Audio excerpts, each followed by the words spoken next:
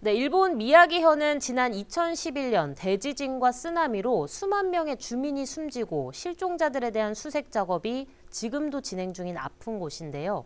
사단법인 제주 올레와 손잡고 미야기 올레를 개장한 이후 줄었던 관광객이 다시 늘고 지역 경제에도 활기가 돌고 있다고 합니다. 최근에는 다섯 번째 올레길인 무라타 코스가 만들어져 올레꾼들을 맞이하고 있습니다. 최영석 기자가 보도합니다.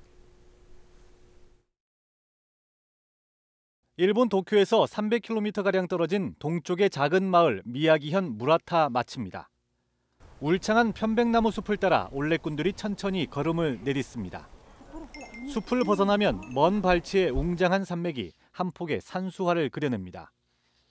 일본 미야기현의 다섯 번째 올레길이 만들어졌습니다.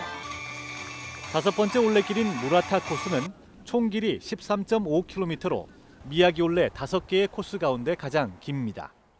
はい、はい、じゃあ天気が良くてとても歩きやすかったです結構急勾配があるんですけれども自然が綺麗だったのであまり苦にせず歩けました 출발 지점에서 종점까지 한 바퀴 걸어 돌아오는 이 올레길은 5시간 정도가 소요됩니다.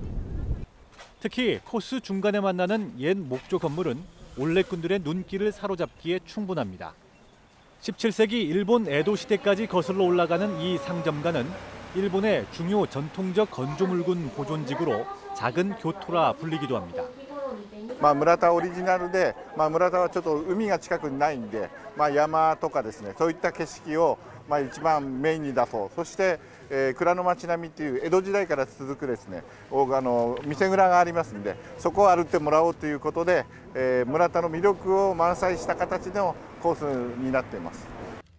지난 2011년 수만 명의 주민의 목숨을 앗아간 동일본 대지진으로 인한 아픔은 현재까지도 진행형입니다.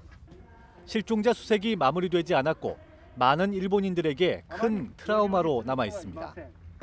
이 마을에 대한 인식을 바꾼 것이 바로 올레길입니다. 지난 2018년부터 사단법인 제주 올레와 함께 개척한 미야기 올레는 대지진 이후 줄어든 내외국인 관광객들을 다시 불러 모으는 기폭제가 됐습니다.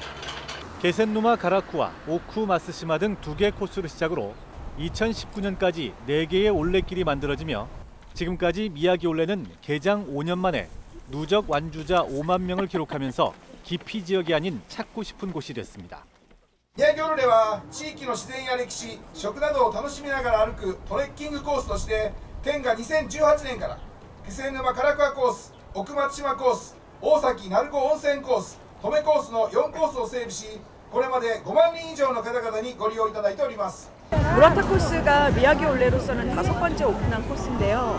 이렇게 다섯 번째 코스까지 오다 보니까 오늘 한 천 명 이상의 그 일본 사람들이 모여서 걷게 됐어요. 그래서 이제 일본 내에서도 아 올레가 굉장히 자리를 잡는 일본 미야기현은 앞으로 세계 올레길을 더 개발해 모두 8개의 미야기 올레 코스를 만드는 것을 목표로 하고 있습니다. KCTV 뉴스 최영석입니다.